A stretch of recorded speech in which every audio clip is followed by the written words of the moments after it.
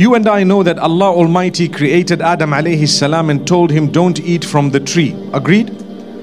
Him and his wife, Allah says, وَلَا تَقْرَبَا هَذِهِ الشَّجَرَةِ Don't eat from this tree. That's it. So, in that place where they were made, and there is a big discussion as to where exactly it was. Was it the Jannah that we are going to go back to, or was it a different Jannah? The more correct opinion is it was a different garden that is called Jannatul Ibtila. It was a garden wherein which Allah wanted to test Adam and Hawa.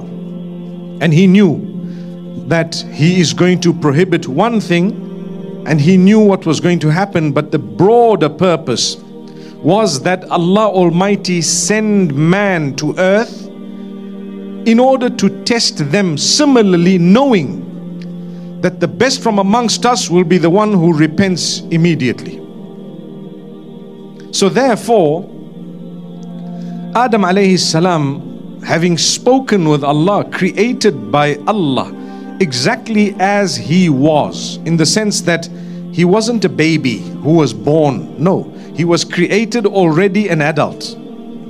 Adam alayhi salam was created already an adult. And Allah says, We taught him all the nouns and the names and everything he needed to know to communicate. وَعَلَّمَ آدَمَ الْأَسْمَاءَ كُلَّهَا We taught Adam the names of everything. This is a tree, this is a stone, this is this, and this is water, and everything he already knew. He came into creation, there was only one thing that was prohibited. One. What was that? The tree. Don't go close to this tree, don't eat from it. And guess what happened? That's exactly what he did.